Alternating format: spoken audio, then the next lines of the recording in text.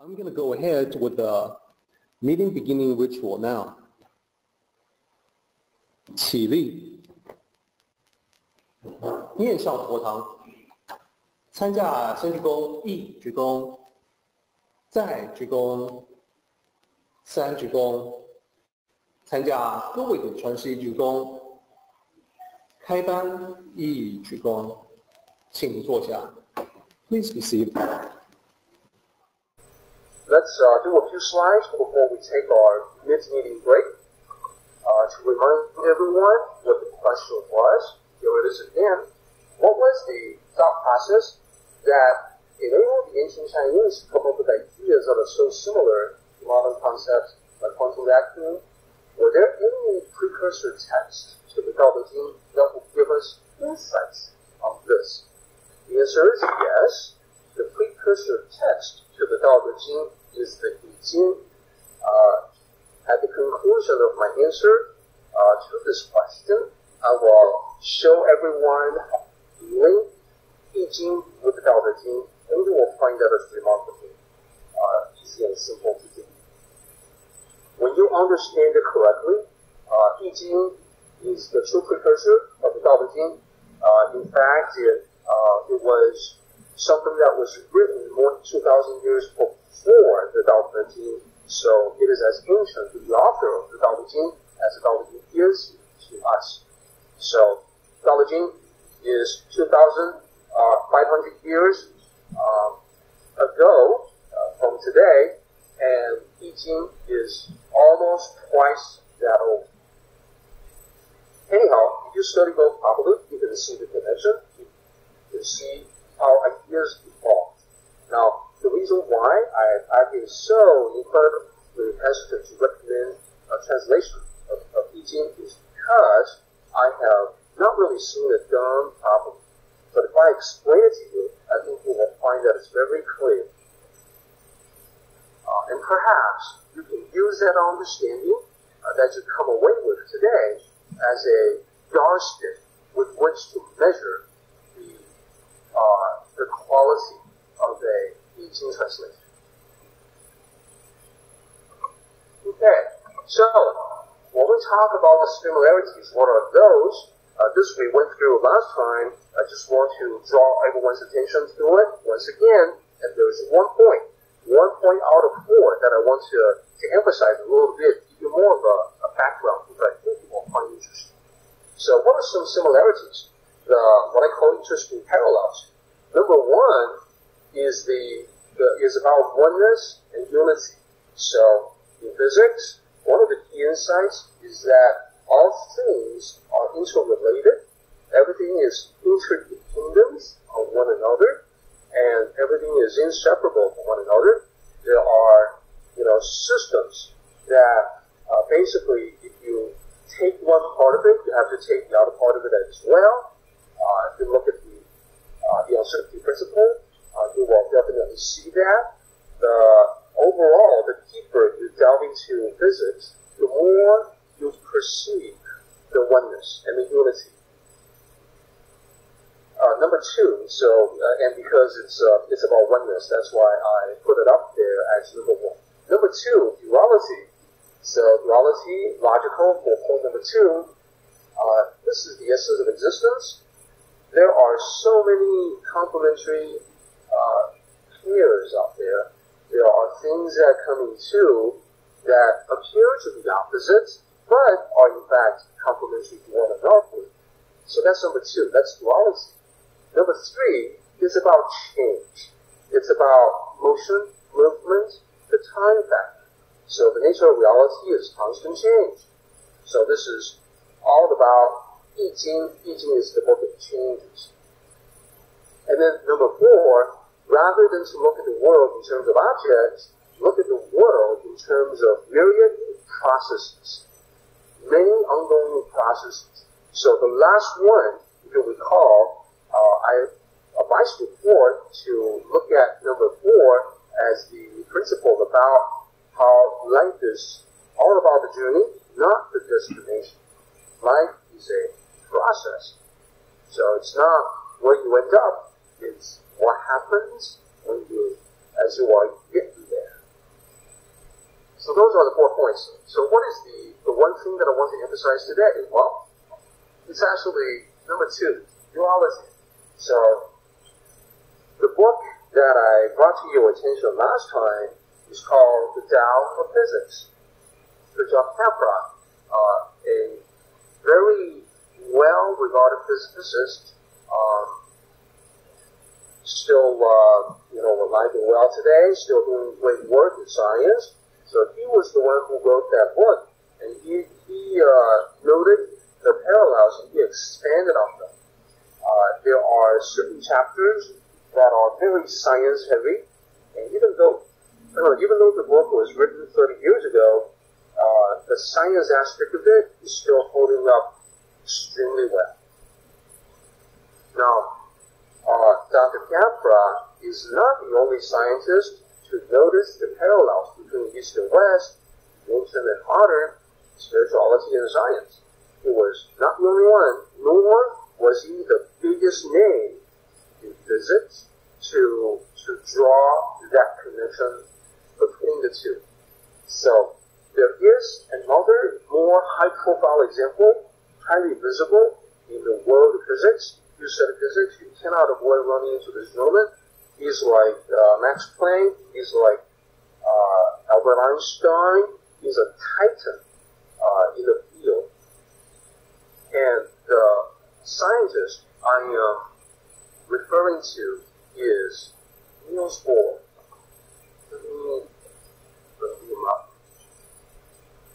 So, Fritjof Capra is not the only one to notice the parallels. Niels Bohr, as you can see, uh, passed away quite some time ago. Uh, he was uh, a young man around the, the turn of the century. Uh, he was like 20, he was in his mid 20s, 27, when the news reached him that the Titanic sank uh, in, in the, the North Atlantic. So that gives you sort of a sense for his time. So he made, he was famed for his uh, contributions, numerous contributions uh, that increased understanding to the atomic structure. So structure of the atom uh, prior to him was uh, was a mystery, and uh, through his work, uh, verification with experiments, etc., it was much much better understood. And I'll explain in a moment and he also made uh, numerous contributions quantum mechanics. He also uh, was uh, one of the first to understand the connection between the two. So, the term quantum, I find today, has been uh, vastly misused and overused. So, you know, the quantum healing, quantum learning, quantum this, quantum that. Uh, most people who are using the word quantum don't really know of where it came from. So, in back in Niels Bohr's time, when they were just starting to get into understanding the quantum realm, one of the key insights was about quanta. A quanta is a discrete amount of energy that is required to uh, to to have an electron move to a different orbit. So when the electron uh, is, uh, when you measure the distance from, the electron to the nucleus, there's a certain, there are only certain distances that it can, that it can be. It's not continuous. There are steps. There are discrete steps. And it requires a certain amount of energy for it to shift up or down in those orbits. Quanta, the discrete energy, later on, you know, it shows up in so many aspects of physics, and that's uh, how we ended up with quantum mechanics. So it all came from the term quantum. Now, let me let me uh, describe let me describe Niels Niels Bohr that he's he uh, he sensed the principle of, of complementarity the principle of complementarity says that things could have properties that appear to be mutually exclusive, and yet they are all existent in the thing. It just uh, depends on the experiment that you set up to reveal one, one or the other. And the most famous example is dual slit experiment. It's one way to see in the macroscopic world how it, how things work in the quantum world. So when you have light shining through a single slit as you cut in the cardboard, the, what appears on the other side shows that the light that you shine on slits is behaving like particles, like many little particles. Now, the moment you have another slit in the mix, you get a bending effect behind it. And that's a wave-like particle. Now, you can then, you can then obscure one or the other slit, and it goes right back to the other particle. It is as if, uh, somehow the light knows whether, whether you are letting it shine through one slit or two. But that's crazy. So, another way to think about it is that if there's only one slit, so you know beyond the shadow of a doubt that light is only going through there, that one slit, then it behaves like a particle. The moment there are two slits, and light has the potential of going through either one or the other, it becomes a wave and it goes through both to interfere with itself. But how does the light know that? And how does it, how does the light care you know, how do photons care know which slits you will go through or if you don't. This is, a, this is at the heart of quantum mechanics. Uh, and like people say that quantum mechanics is, if you really understand it, you would, you would, you would realize that you understand none of it because it is so incredibly crazy that it makes no sense at all. It, it's not intuitively appealing. At the same time, back in year four, he notices the, the particle wave duality of light, like photons and indeed electrons and uh, so many experiments uh, will show that that he was taken by this, this duality, complementary duality, and he made it the centerpiece of his life and his philosophy. He won the Nobel Prize in 1922. He was knighted in 1947 uh, and by the way, he's Danish, so this is not uh, he's not uh, uh, this is not the British um, knighting. This is the Danish, and usually the knighthood for the Danish is only restricted to heads of state or for royalty. So he was knighted because of his phenomenal contribution to modern business. And when he then, you know, had to present his coat of arms for his family because of his knighthood. He designed his own. The picture that you see uh, at the right hand side, you'll see the yin and yang there. There's also an inscription in the coat of arms that is not so easy to read, but I'll uh, but I've typed it out for you. It's contraria sunt complementa in Latin, and it just means that opposites are complementary. So that's the model for his home, uh, for his family, uh, and that it appears in his photographs. So you can tell that this scientist was completely into the Tao. Now, there's a little bit more that I'll, I'll talk about um, in regards to him that I'll kind of drive home the point, but I'll let I'll the presentation on this slide as we take our five minute break. Alright, time to pick it up again. So, uh, looking at the, uh, the graphic here, uh, I realized that it's uh, not really clear. It's not super clear what it shows. So, uh, I did search for a better version of the coat of arms to show you, and that's in the next slide. With this, you can see the design. Uh, the Danish knight uh, order of the elephants, so that's hence the elephants uh, at the bottom. Uh, the yin and yang symbol very prominent there, and the, the family model of Contrarius optimism. So this is uh, what uh, Dr. Bohr designed for himself, because for him it was the most meaningful symbol that he could have used. Uh, he uh, he found uh, that all the stuff that he that he got into with physics, the, the unity, the interrelatedness of everything, the the complementary duality, the the wave uh, particle duality, the, the, the change processes, etc. He, he felt that none of these things were adequately addressed in Western traditions, but were actually the focus of Eastern traditions, such as what we're studying today. So, in the University of Copenhagen, uh, there's a statue of Niels Bohr. And in that statue, not sure if you can see it, prominently in the center is, once again, the yin and. So, he wanted this to represent him uh, and his understanding of physics. So, now let's let's look at the ancient Chinese come upon these concepts that causes modern physics, uh, modern physicists, especially great minds like Niels Bohr, to you know totally identify with it and see the connection uh, with it. Well, last time we went through the beginning parts of that thinking process. Let me uh, give everyone a recap to get us all caught up.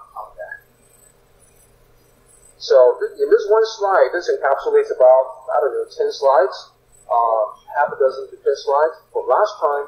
So take these step by step. First, one that's the character for observation, specifically being the detached observer. That's number one. It all starts with that. So today, we will talk about scientific observation. So back in those days, in ancient China, it was one to be detached as you observe the marvels of nature. Second, I talk about Fu Xi. This is the an ancient ruler. Uh, he was most likely uh, a leader uh, in, uh, in, in, the ancient tribe. Uh, back in primitive days, it was the transition period between hunter-gatherers and agricultural society. So he practiced being the detached observer. Specifically, he looked up at the sky, he looked at the, the clouds, the winds, the weather patterns, uh, the rain, etc., and he gained insights by observing and by developing intuition to perceive the patterns. And he was then able to use that understanding, that insight, and that intuitive grasp to make predictions. He became very accurate, and this became very important for the hunter-gatherers uh, who would oftentimes uh, venture away from the tribe for days at a time maybe even weeks at a time, and therefore would benefit from some sort of weather forecast. So, so many groups of hunters came to him uh, to ask about what the weather is going to be like, you know, for days down the road, that he ended up making carvings on the tree so people can just go to that tree to look at his weather predictions in a similar way that you and I will go to weather.com uh, today you know, actual weather or whatnot to see what the weather is going to be in the next few days. So, having had that degree of success, he was, number one, elevated into a leadership position in that tribe. And number two, he was turning his mind toward how to perceive that same pattern in reality itself, in existence itself, not just the weather, not just the sky, not just heaven, but also human beings. So he looked around. He uh, asked himself some questions, and he, he you know, observed uh, animals. He observed uh, plants. He observed uh, human beings. Uh, he looked at how human natures interacted with one another. Uh, he would draw connections between what he sees in nature with what he sees in human beings, and I'll uh, later on I'll show you guys exactly what those are. Uh, you can see it in the Bagua symbol. So one of his insights had to do with mathematics. And this was at a when it would have been very difficult to explain mathematics to others. So he ended up uh, just making up a legend saying that he saw markings on the back of a turtle that crawled out of a river, the river Luo, the Luo River. And those numbers have divine significance. And those numbers, as I showed you before, were simply the magic square, and that, you know, no matter which row, which column, which diagonal you take, the numbers add up to 15. So he marveled at this, and then he got to thinking that, well, you know, this is definitely not obvious that you can, can put numbers together and A as to get this kind of interesting result. So extending from that, there's got to be other unknown, unseen uh, laws in nature that we cannot, we cannot really know them right off the top of our heads, but we can figure it out by observing what we can see. Furthermore, that this kind of this kind of pattern, this kind of um, underlying order to all things uh, must be what eventually gives us the complexities that we can observe in life. So he chose to he chose to depict the complexity of life using the Bagua. Uh, as we as we go a little bit further, you're going to see some elementary things repeated over and over again. Zero, the nothingness. And that's used quite a bit. And then one, so from nothingness to somethingness. So one is used quite a bit, and then two, the duality, and then three, the change. And that's it. Everything else can be derived from 0, 1, 2, and 3. So, for instance, Bagua, the eight trigrams, well, eight, that's uh, basically two, taken to the third power. So that's two and three. Now, when you when you really understand the thought process that you went through, you will suddenly find that this painting, this Chinese painting here, as you see, this becomes extremely meaningful. First of all, what's he doing? He's not looking at the painter. He's actually looking down at a turtle. So this embodies, well, first of all, the identity, you see, you know, the tribal leader, the uh, the so-called legendary emperor, he's observing an aspect of nature in the turtle here. The turtle is what he claims to have the pattern, the magic pattern that we know as a magic square, so that's the reason why he's looking at turtle, and deriving from that series of insights to eventually give him the Bagua, which you can see at the lower left-hand side. So in this one painting, you've got observation, you've got Fu Xi, you've got observation, you've got Shu, you've got the number of the turtle, you've got Bagua. So, didn't actually plan it that way, but what we talked about last time is all encapsulated, in this one painting. So, if you don't really know what I'm talking about when I refer to Shu, the magic square, I'll just show you what it looks like over quick look at it. These are the markings that claim was on the back of the, the, the from the river, meaning from nature. Actually, just numbers. So the number of dots that you see is represented. So one one dot is, is the number one, five dots is the number five, two dots is the number two, etc. So it can be translated like this to the numerals into the numbers that we uh, that we know and work with. So this is the this is the scheme where everything adds up to 15, no matter which way you go. Whether it's vertical, horizontal, or diagonal. Absolutely every every three numbers in a straight line adds up to 15. So let's move on. That's what we uh, so we got to that last time. Here, I want to I want to uh, highlight highlight some key words. So, looking at the looking at the magic square, how unexpectedly uh, fascinating it is, how elegant in its simplicity. So, in contemplating complexity arising out of simplicity, you will go from the ultimate simplicity, which is zero or nothingness, followed by one, followed by two, and followed by three.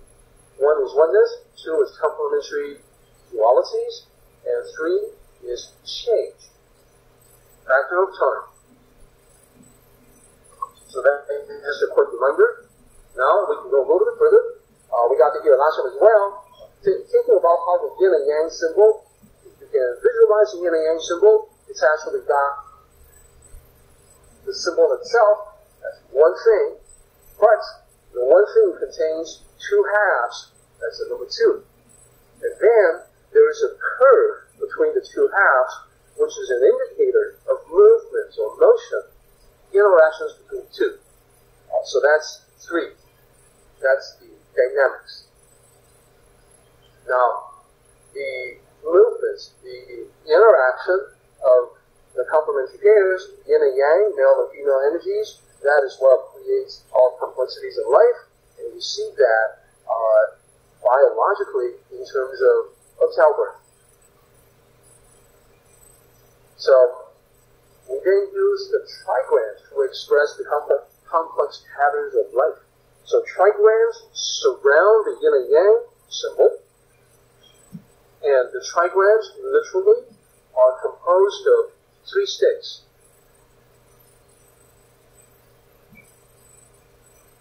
Each one of the sticks can be can be broken, which is yin, or non-continuous, or unbroken, which is yang.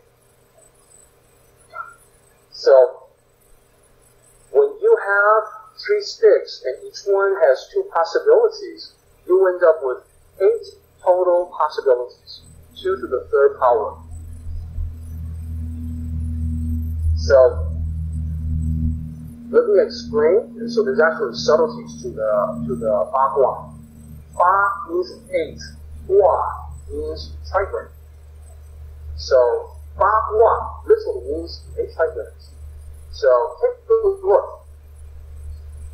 Surrounding the yin and yang symbol, what is at the very top are three continuous lines, three unbroken lines. So that represents heaven, and it represents yang, yang energy, the male. So down below, lines, that's the opposite. So that represents yin. That, rep- represents ground or the earth. So in the language of I Ching, this male aspect, the heavenly aspect, is Qian. So remember, pinyin is a little bit funky, so Q-I-A-N is actually C-H-I-A-N. You would pronounce it as if it was spelled C-H-I-A-N. Qian. And then down below, Kun. So, at a temple like this one, if you listen to people talk in Chinese, you will hear them say Qian Kun. That is yin and yang. So, to be more specific, Qian is yang, Kun is yin. Now, when they talk about yin and yang, they will, they will say, they will just say it in Chinese, yin yang. So there's no and, it's just yin yang. Now there's more. So what about the other ones? Well, take a look at the, let's take a look at the horizontal pair. So you've got, you've got the broken, straight, broken. So you already know without looking at the other side that it should be continuous, broken, continuous, because they're supposed to be the opposite right across. So they have different kinds of symbology as well. So the on the left hand side, this represents fire. On the right hand side, represents water. So there's your north, south, east, and west, and then the other two pairs, you've got mountain versus swamp. Uh, notice that mountain is next to ground. And then you also have wind with uh, opposite to, to thunder. Thunder causes the ground to shake. Lightning strikes the ground. Wind is something that uh, that is uh, up in the sky.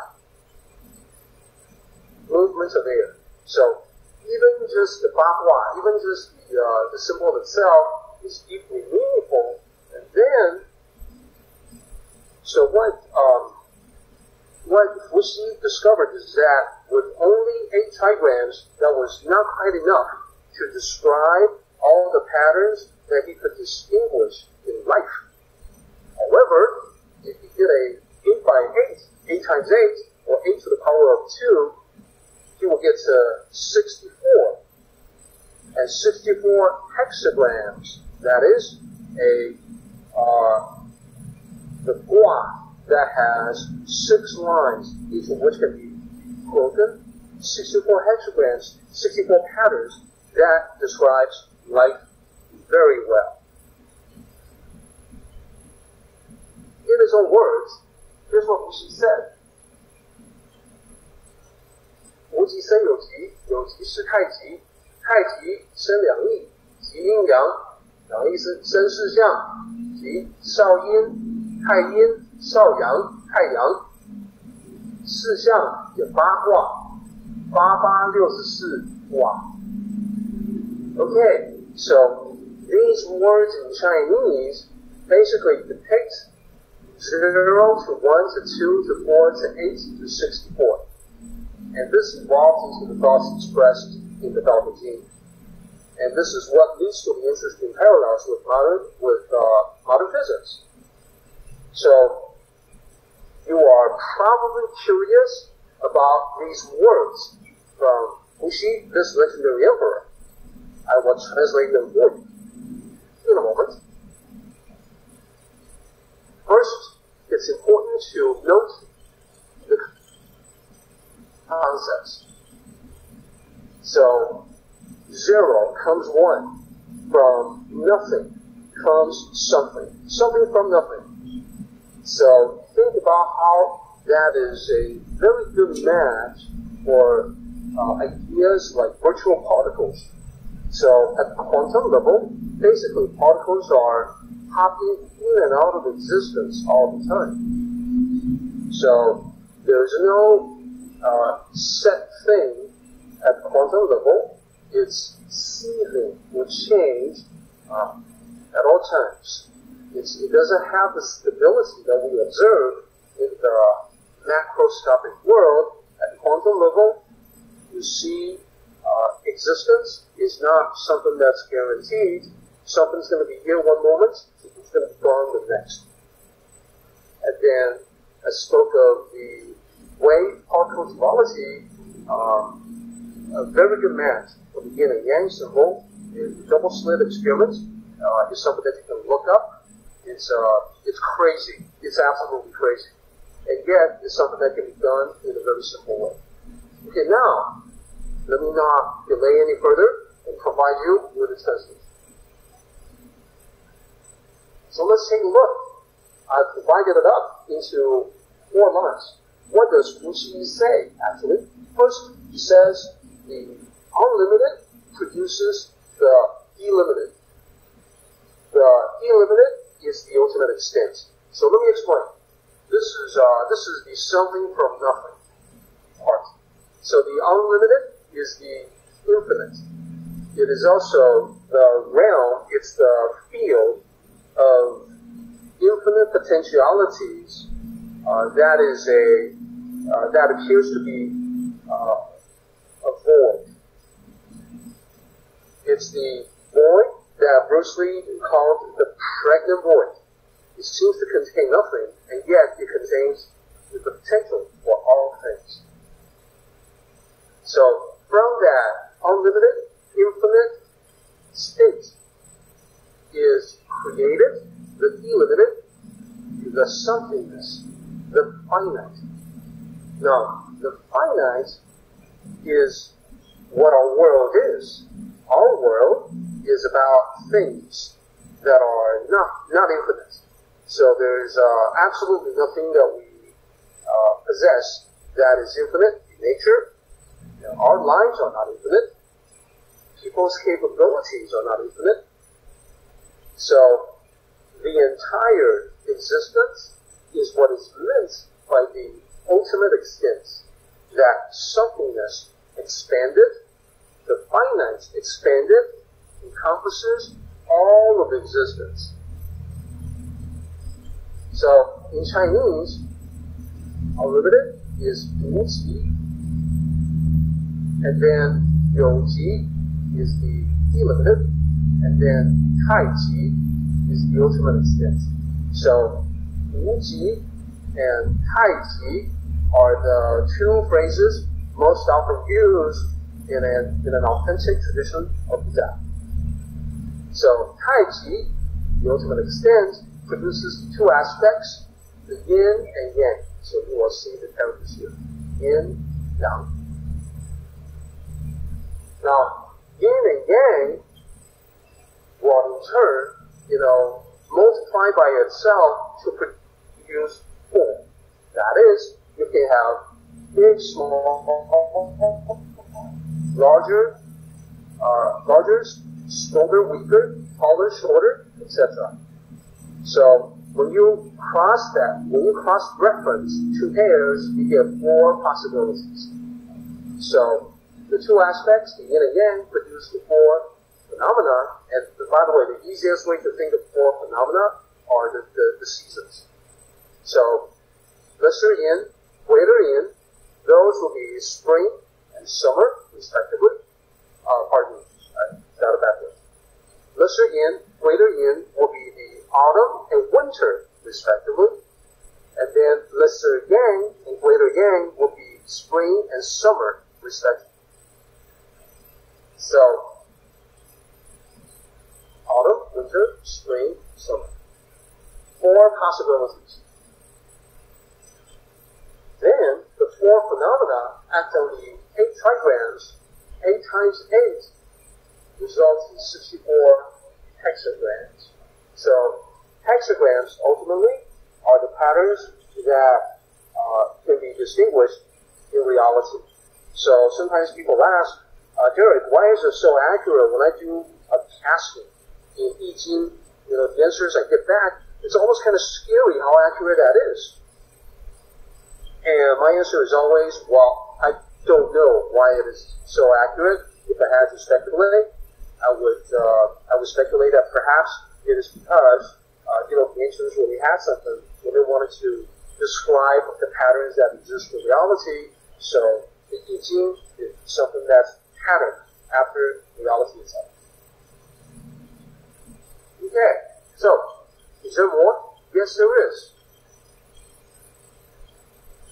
I want to trace the evolution of the thoughts all the way to the Tao Te Ching. Remember, that's the that was the question. Here's the answer. So, looking at the translation will help you make sense of what is in Tao Te Ching chapter 42. Line 1, Tao produces 1. Well, Tao is the state of nothingness that contains the potentiality for everything. So, Tao is Wu Ji, limited. It produces the limited. that's the one, and delimited is the ultimate, extends, that's the universe. Universe, remember, uni, you and I, that's one. Verse is song. Universe literally is one song.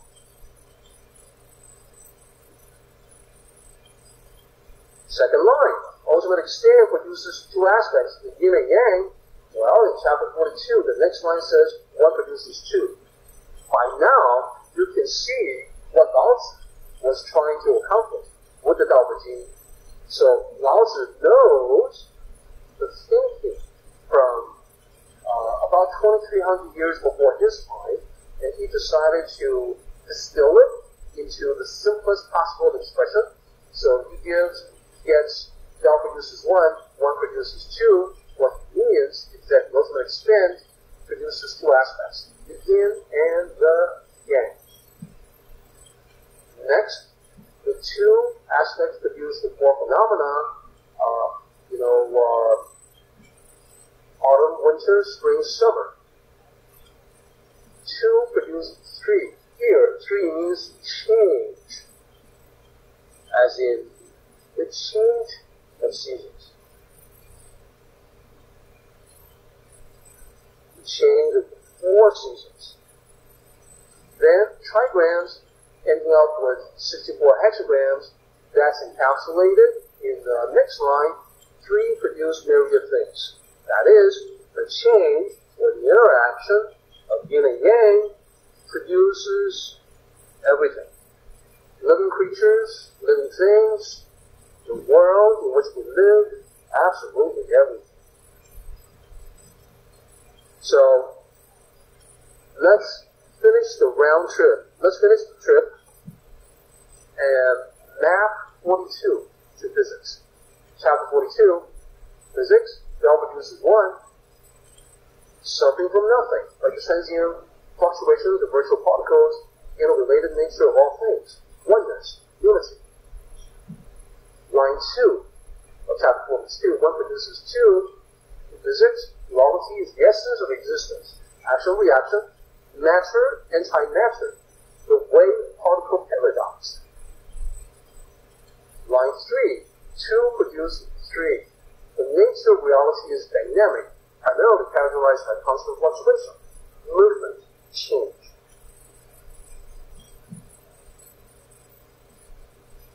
Line 4, three produce myriad things. We look at the world and observe myriad ongoing processes. All of it results from the above. There you go. You have, in the last six or seven slides, you've got a continuous uh, evolution from the ancient primitive times of, uh, of the Tao to the time of Lao Tzu, 2,500 years ago, to today with modern physics, uh, quantum mechanics, etc. That is how it took place.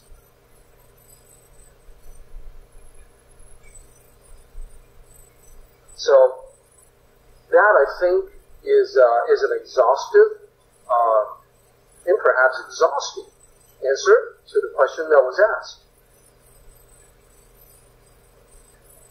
And this presentation is being recorded, so it will definitely show up in the YouTube archives.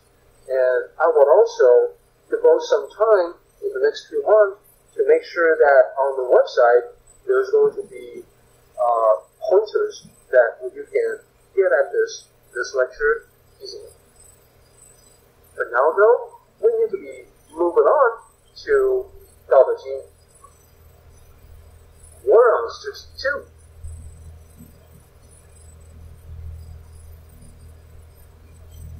So, 62. The Tao is the wonder of all things, the treasure of the kind person, the protection of the young kind person. Admirable words can win the public's respect. Admirable actions can improve people. Those who are unkind, how can they be abandoned? Therefore, when crowning the emperor and installing the three ministers, although there is the offering of jade before four horses, none of it can compare to being seated in this Tao. Why the ancients value the Tao so much? Is it not said that those who seek will find, those who those with guilt will not be faulted. Therefore, it is the greatest value in the world. Okay. So, so us is to look for patterns that will give us a hint as far as the structure of this chapter.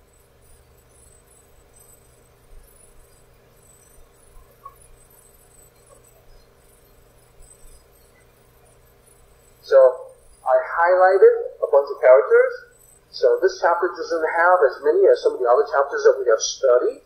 That's okay. Let's take a look. So between line 2 and 3, we have two characters that are similar. Actually, we have three characters. Have that one there. The first character is the same as the second character, so three characters are uh, replicated from 2 to 3. And that's because, literally, the second line says good person. And the third line says no good person. Who is bad. Or nasty, if you will. So those characters are repeated, and then four and five, we see the first character is the same, and then we see that we have two characters that are repeated. So it makes sense when you consult the translation. It's talking about admirable words and then admirable actions. So get to the meaning of these characters when we get to that point. But now though, let's go ahead and take a look at this. You know. So this thing be a little bit unexpected. Let me explain. First, in section one, you're going to see quite a bit about how the Tao is interacting with the kind person and the unkind person. So everything from one to seven is about the Tao for the kind person versus the unkind. The good people versus the not so good. That's one to seven. From eight, but this is using what the ancients knew to be the most valuable thing uh, that they could imagine. The installation of the emperor. So the crowning of the emperor, uh, as as great as that is, uh, was not something that compared to to the Tao. So this is just a way to say that you know think of the absolute most valuable thing there is, the biggest, the grandest. That cannot compare to the Tao. So those four lines, that's the focus. And then the last four lines are the conclusion. Conclusion basically says the Tao is the greatest value in the world. Okay, so now let's delve into one section at a time and then one line at a time. And by the way, the um, uh, I will be very interested in your feedback on the discussion about physics and the Tao. As I mentioned uh, at the beginning of, the, of our meeting today, it's one of my favorite discussions. Uh, I tend to stay away from it because uh, I think that there are people who don't really care about the science aspect of it. Um, same reason why I tend not to talk about vegetarianism unless I was asked, because uh, I think uh, I think people don't really want to hear it. So if that is the case, I don't want to talk about it.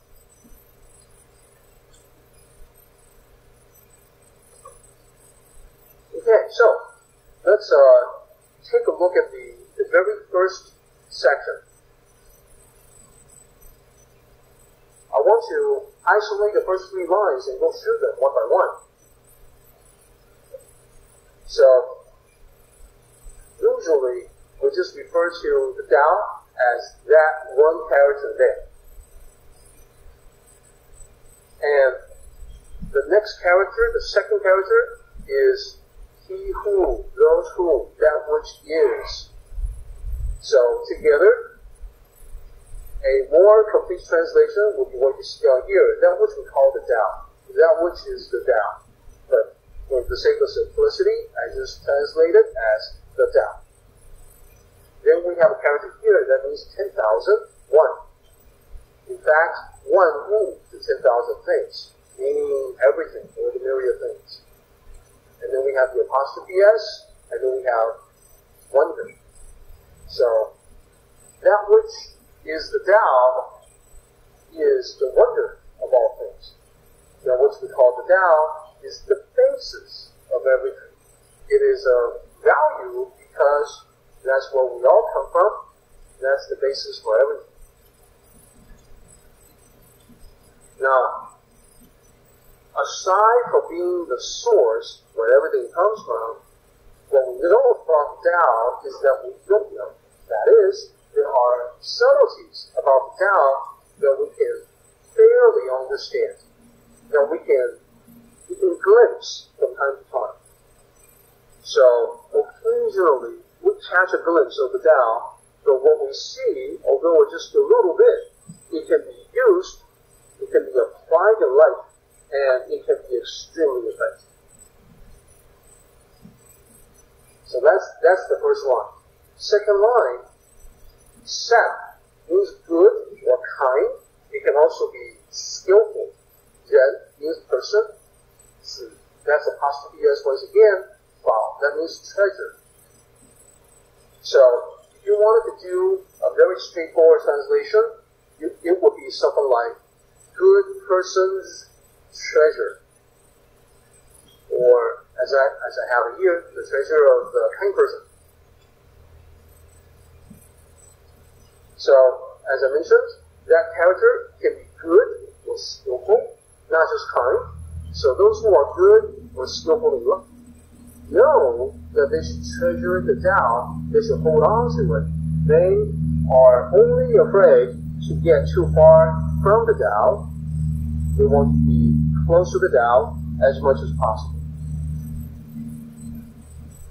Now, let's take a look at the opposite, the people who are not kind, not good, not so skillful. So, those who are not so skillful still benefit from everything that the Tao provides.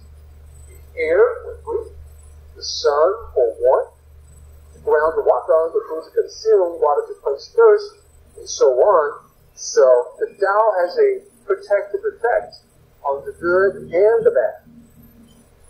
So in Chinese, the first character means no, Sad means good or kind or skillful, then that's a person, once again, and then we have the apostrophe s, and then we have the possessive there, and then Bob, their protection. So this can be translated as the unkind person's protection. Or the protection of you know either way. So here's uh, here's what I want to point out uh, for everyone. If you take a look at the last two bullets here, the, the good people and the people who are not so good, the skillful people, people who are not so skillful, the kind people, people who are not so kind. Can you see the yin and yang symbol there? Uh, and this is my way to sort of uh, really get the point in your face so you cannot ignore. It.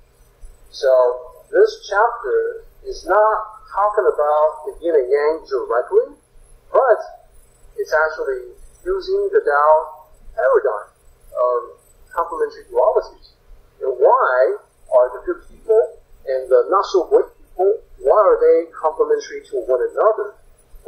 Goes back to a previous chapter that we have studied that says that, well, you know, we can actually learn from both from the good people, we can learn things to do, how to do, uh, what to do, how to be.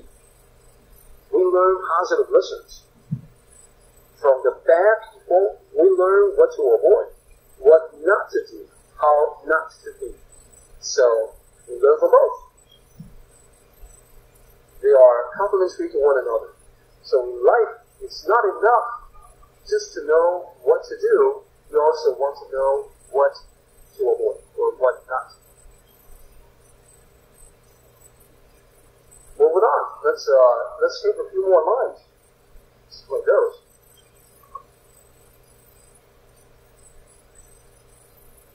Okay, so then we have admirable words and admirable actions. So let's take line four. So this is um, this part is like an echo of what Bill talked about today. we talk, we spoke of words as the tools that we can use for good or for bad, for uplifting people or for putting them down. So words matter. Positive words can be uplifting and inspiring. Now, this is uh, in, in the Tao Te Ching, in the commentaries, one point is uh, very clear about line four, that you want to look at it from the Tao mindset of complementary dualities as well. So when you look at line four, you would think about two things. Remember, complementary dualities, two things. One, you would think about what to say to other people that can be uplifting and inspiring. So that can range from uh, making a speech that's uplifting and inspiring to everyday words of encouragement, even just a cheerful greeting. So this is what you say.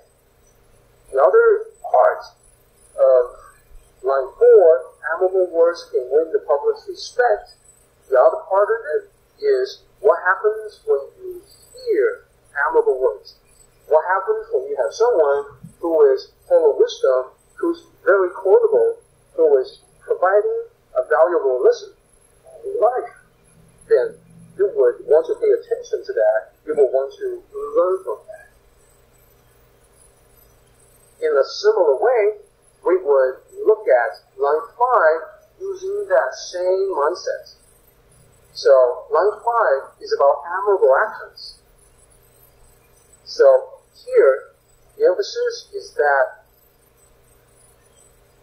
you know, beautiful words are all very well, but admirable act greater than that, because actions speak louder than words.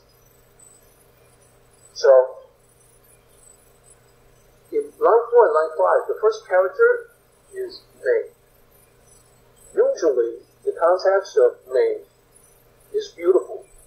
So, you can say, instead of admirable words, beautiful words.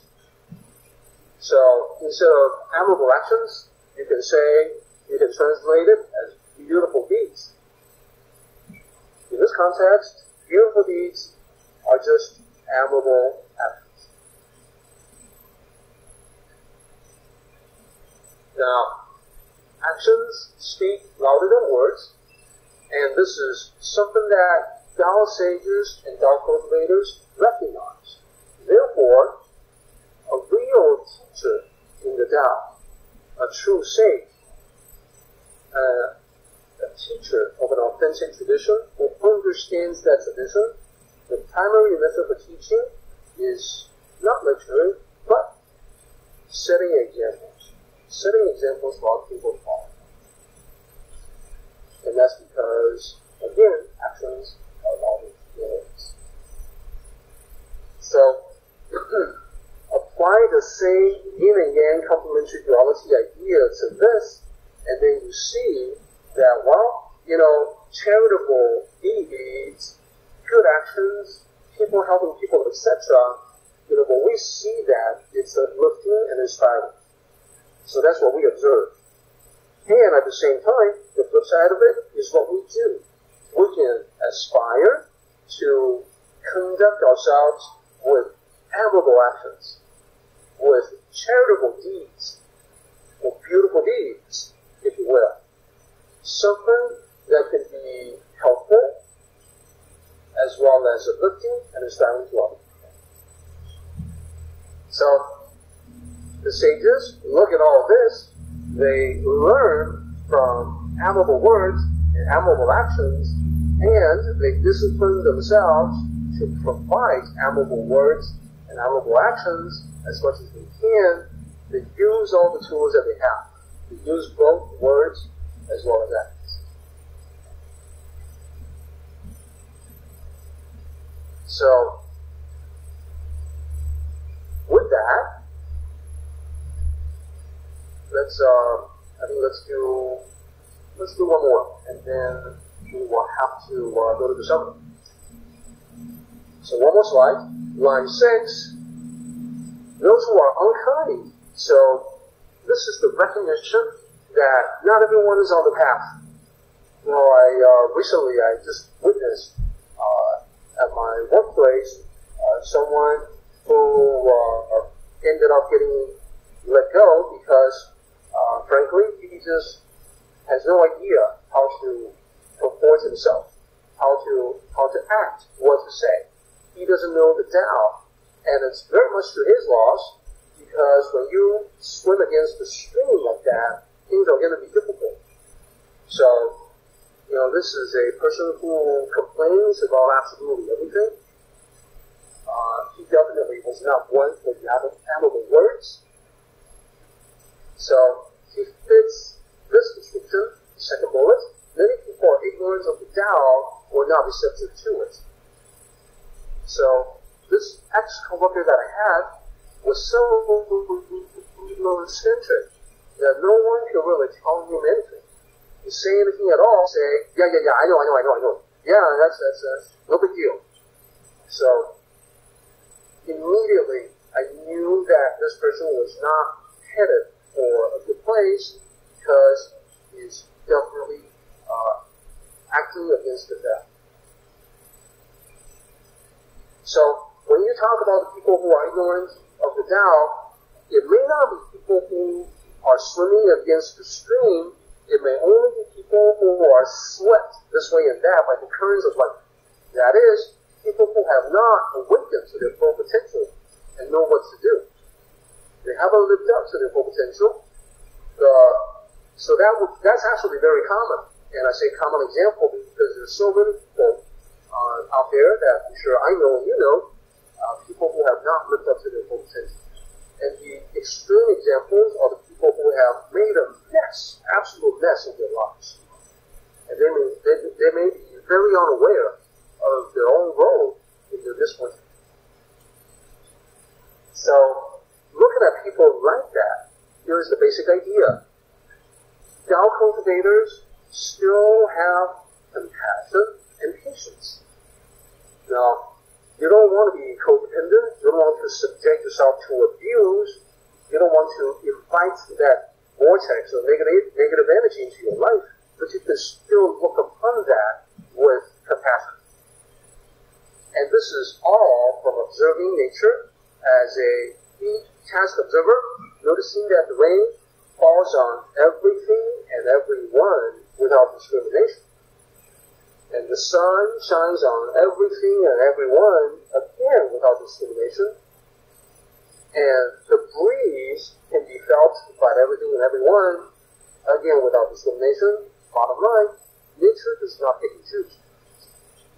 So, even the people who are the least deserving, Tao cultivators have compassion for them.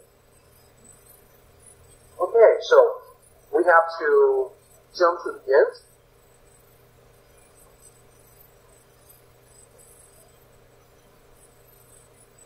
And go to the summary.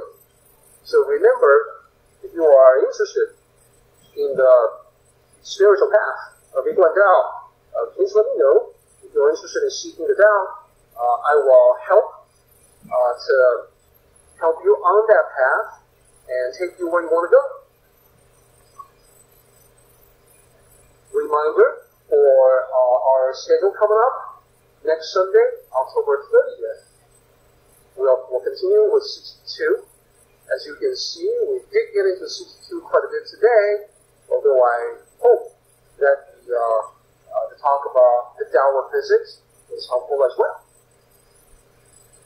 Then, after that, we will have one weekend without the Tao meeting because of the joint meeting at the temple that, continue on in 62. Finally, let me go to the summary slide for today. The summary slide is all based on admirable words and admirable actions. So, the two distinct applications in life, number one, admirable words, inspire and motivate people with more positive words and actions. Positive words need not be elaborate. Start small. Greetings, expressions of gratitude, and take it from there.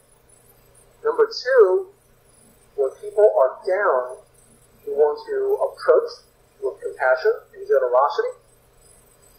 And when we talk about generosity, it doesn't doesn't necessarily mean monetary or material assistance. Uh, what can be even more important uh, would be the little things in life. Being there for someone to be to be listening, you know, as they are troubled, uh, to a receptive ear, hopefully yours, and being supported as they get back on their feet. So, little things perhaps, but they can make a huge difference. Let's go ahead and do the meeting ending ritual, everybody. 起立，面向佛堂，持下三鞠躬，一鞠躬， 再鞠躬，三鞠躬，持下规则是一鞠躬，接班一鞠躬。Okay, everybody, we are done. Participate in the Tao meeting by joining us online. For information, go to Taoism.net forward slash Tao